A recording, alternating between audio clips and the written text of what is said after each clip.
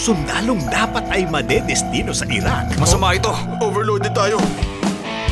Ito na yun, ang Iraq. ay mapunta sa Mexico. May nakita ka? Wala pa, nakalimutan kong tanggalin ang lens cap. Naibang laban to. Si Rambo! Nasaan ang weapons of mass destruction? Wala kayo sa Iraq? Mahirap paniwalaan, pero nasa Mexico tayo!